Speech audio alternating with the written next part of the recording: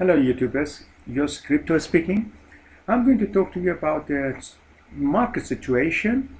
And as you see here everything is red. Just let me open this.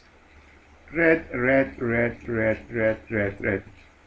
I couldn't see even one green here. Oh I see one.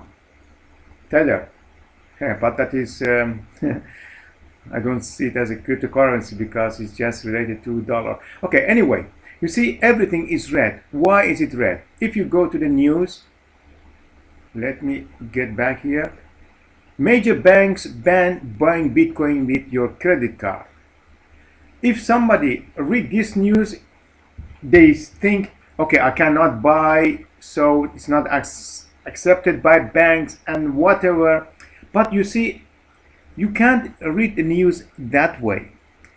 We have credit card and debit card.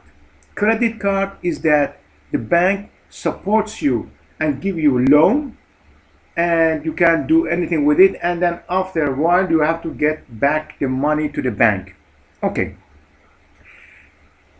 And we have we have debit card. Debit card is just the money you have, you spend it is your own money what the banks are saying at this moment. They say they are not going to lend you money in order to for you to buy uh, Bitcoin because um, there's so many people have bought Bitcoin and the price has gone down and they are not they are not able to pay their debts.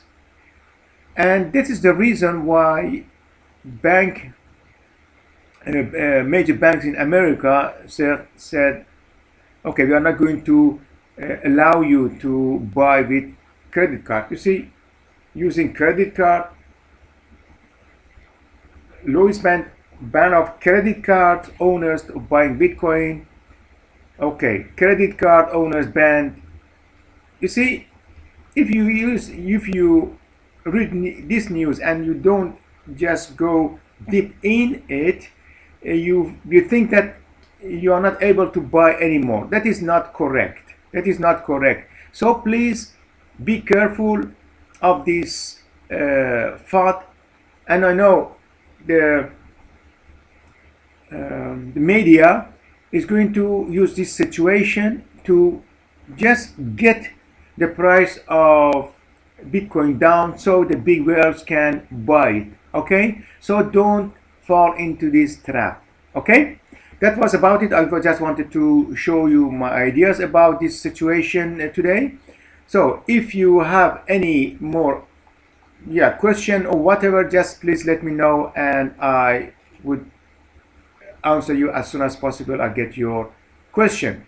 And if you like this video, please thumbs up, subscribe, and until next video. Sayonara.